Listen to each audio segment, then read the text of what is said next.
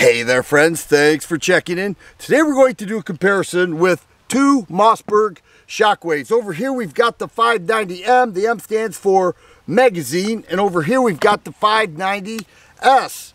And what they did with the 590S was make it feed, fire, and eject mini shells. And you can stagger them, which is what I have in the magazine tube right now. This has an MSRP of 623 the 590M has an MSRP of 657 so a $34 difference between these.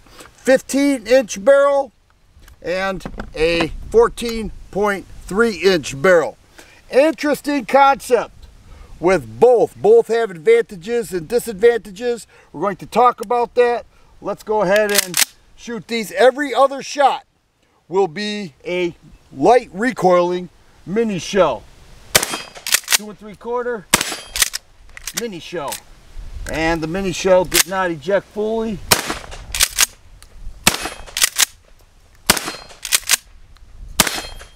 And that should be it. That may have been user error, I'm not sure. But when you use the two and three quarter inch mini shells, very light recoil. If you go with just that, eight plus one capacity, which is not bad. But this is even better, 10 plus one. And I currently have 10 rounds, not one loaded currently in the chamber. But as I mentioned, a 15 inch barrel has the same bird's head grip. Let's go ahead and take some shots of this.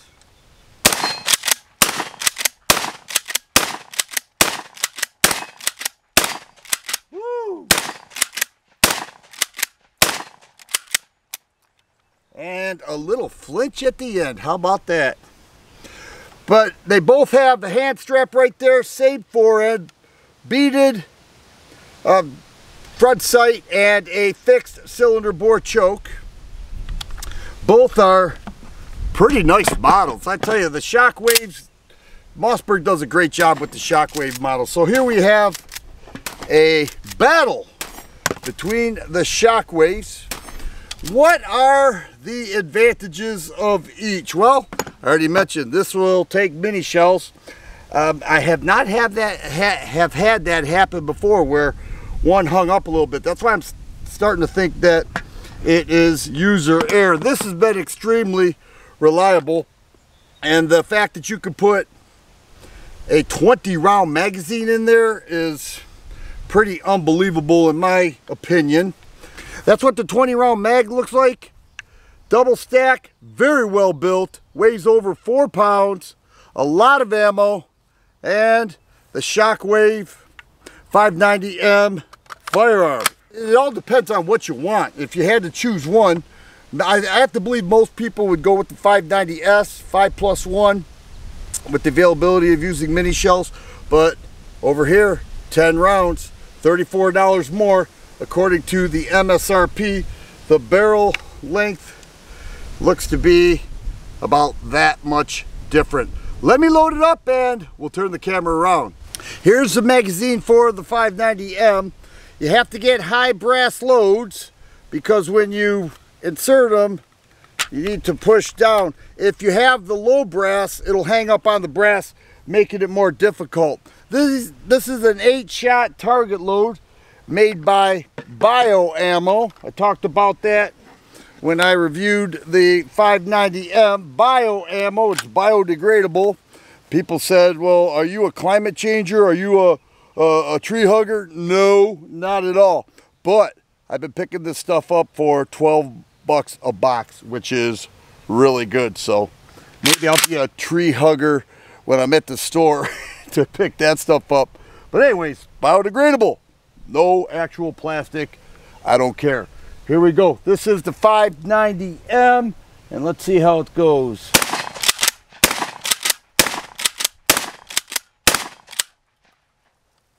Not bad.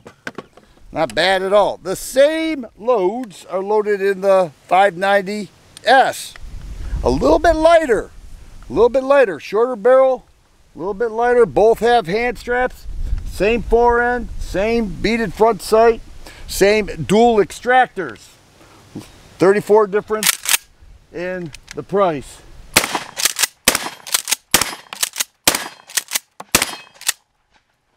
And that is all five. So 10 rounds were shot. Both performed very well. Both barrels are fairly hot. But I love the Shockwave models and I think they did a great job with this. So if I had to choose one, it would be tough because ever since I got this, which was just two weeks ago, I, I really fell in love with the capacity with the magazine fed shotgun. I dig magazine fed shotguns. A lot of people like the magazine tube. I do as well. But I also dig magazine fed and 10 rounds is no joke. But if I had to get rid of one, which one would it be?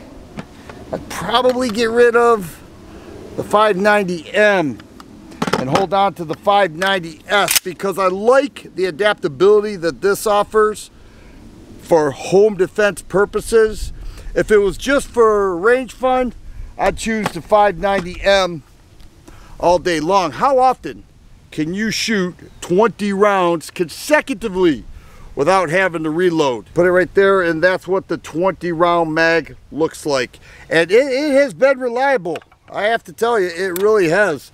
So that's my choice. Which of these Mossberg Shockwaves would you go with? Would you go with the more adaptable 590S or the magazine fed higher capacity 590M for magazine?